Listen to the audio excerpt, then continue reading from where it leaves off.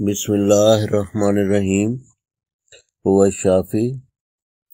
Flu नज़ला ज़ुकाम, खांसी व बुखार का होमियो इलाज।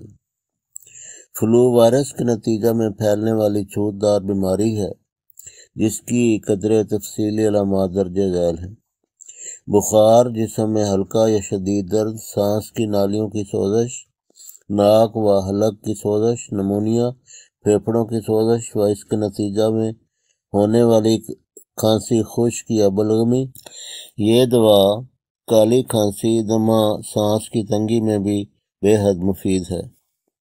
किसी होम्यो स्टोर से ये मरकब नुस्खा तीस ताकत में लिक्विड फार्म में बीस एम की मकदार में यकजा तौर पर मसूद या किसी दूसरी अच्छी कंपनी का बनवा लें। वलायती या जर्मन बनवाने की ज़रूरत नहीं है। साथ ही 100 ग्राम ग्लोब्यूल्स भी ले लें। उसमें से 20 ग्राम के करीब ग्लोब्यूल्स लें। उनके ऊपर ये जो मालूल है, ये किसी कदर छिड़कें। और पाँच सात दाने हर खाने से आधा घंटा पहले चूस लें। या अपने घर में फैमिली को भी इसी तरह करके इस्तेमाल कराएँ। ज़रूरत पड़े, यानी पहले वाली गोलियाँ जो तैयार की थी, वो ख़त्म हो जाएँ तो और तैयार कर लें। अगर ये गोलियाँ इस्तेमाल करने के बाद शरबत बिनफ्शा हमदर्द, या करशी, या आफ्ताब करशी, या अजमल, या किसी अच्छे दवाखाने का दो चम्मच वो पी लें तो फिर ये सोने पर सुहागे वाली बात है, यानी ज़्यादा मुफीद और ज़्यादा नतीजा खेज है। लेकिन अगर ना मिल सके शरबत बिनफ्शा तो कोई ऐसी बात नहीं, ये लाजमी और ज़रूरी नहीं है। याद रखें, फ्लू में एंटीबायोटिक्स, यानी जरासीम को शद्वियात बेअसर होती हैं। ताहम, इनका नुकसान तो ज़रूर पहुँच सकता है। फ़ायदा तो अलग रहा, इनका नुकसान पहुँचने के इम्कान होते हैं, एंटीबायोटिक्स के, या एंटीवायरल अद्वियात जो इसको फ्लू को रोकने वाली अद्वियात होती हैं। मसलन एम्पिसलिन क्लाक्सिसलिन या इस तरह की दीगर अद्वियात। एंटीवायरल अद्वियात काम करती हैं जबकि इनके जैली बदसरात बेतहाशा हैं। जो वक्ती तौर पर आर्जी फ़ायदा तो देती हैं, ताहम बाद में इनके दर्जनों बदनतज अरसा तक भुगतने पड़ते हैं। ख़ास तौर पर बच्चों को इनसे ज़रूर बचाएँ।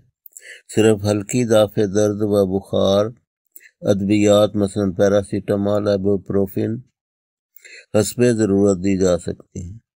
फ्लू का हमला होते ही फाका शुरू कर दें। पानी या कोई माए खूब पिलाएँ और सफूफ दारचीनी या सफूफ सौंफ या सफूफ इलायची इलेक्ट्रिक कैटल में पानी में डालकर खूब बाप का गुसल लें, खूब पसीना निकालें। दिन में ये बाप का गुसल दो तीन बार भी मौसम सरमा में लिया जा सकता है। हसब ज़रूरत ये लें, वरना आम हालात में अगर आम किस्म का फ्लू हो ज़्यादा शदीद हमला ना हो तो सिर्फ़ एक बार या एक दिन का नागा करके ले लेना ही काफ़ी है। इनशाला पहले रोज़ ही बहुत आराम आ जाएगा। इस मर्ज से बचाव के लिए कार्ड लिवर ऑयल कैप्सूल, जिनको विटामिन ए, डी के कैप्सूल कहा जाता है, मौसम सरमा में इसके शुरू होते ही खिलाना शुरू कर दें। ये मुदाफ़ाना निज़ाम को ये कैप्सूल कभी करते हैं और मर्ज के हमला से बचाते हैं। पाँच सौ कैप्सूलों वाली पैकिंग लें, क्योंकि ये सस्ती पड़ेगी। और रोज़ाना की बुनियाद पर खुद भी खाएँ और अपनी फैमिली को भी खिलाएँ। या अगर ये ना मिल सकें तो तुखम अलसी को दरदरा करके उसका कहवा बनाकर पिलाएँ। खुद भी पिए और घर में भी पिलाएँ। दारचीनी या सूंठ, इनका कहवा भी हर्बल टी, ये बनाकर सब फैमिली के मेम्बरान को पिलाएँ। फ्लू का हमला दरअसल चाँद यानी करीबन हफ़्ता भर रहता है।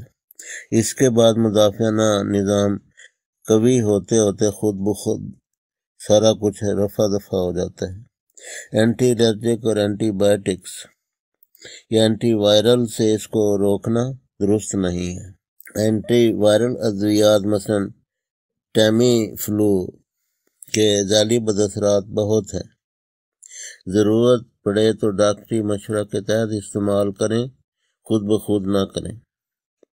मुरक्ब होमियो नुस्खा जिसका हमने शुरू में ज़िक्र किया था, उसके अज्जा यहाँ दे दिए गए हैं। ये स्टोर से ख़रीद लें। यकजा तौर पर जैसा कि हमने वजाहत की है। अगर बाज़ार से होमियो अद्वियात ख़रीद कर ख़ुद तैयार करने की जहमत ना कर सकें तो किसी होमियो स्टोर से ये जर्मनी के डॉक्टर इक्वा के दो मरकबात ख़रीद लें।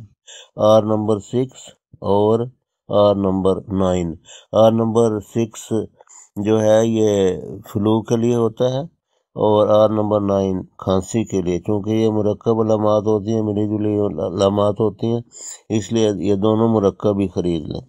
तरकीब तैयारी व तरकीब इस्तेमाल। मिनरल वाटर पाँच सौ एम वाली बोतल का ढकना उतार कर इसमें आर सिक्स और आर नाइन के पचास पचास कतरे डालें।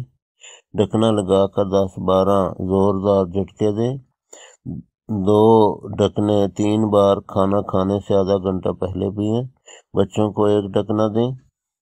अगर हो सके तो ऊपर से शरबत, बिनफ्शा जैसा कि हमने कहा है हमदर करशी अजमल एक दा दो चम्मच पिलाएँ। रिजा, मछली, देसी चूज़े या खरगोश का शोरबा या यखनी सब्जियों या दाल का सूप, खुश्क रोटी। ये गज़ा होना चाहिए, हल्की गज़ा और कम गज़ा जहाँ तक हो सके कम खाएँ, फाका करें। बतौर ख़ास शाम का खाना बहुत हल्का इस्तेमाल करें। परहेज, सर्द, तुरश, तेल वाली अशिया वगैरह। जो इलाज मजकूर हुआ, आपको इन डॉक्टर के पास जाने से बेनियाज कर देगा।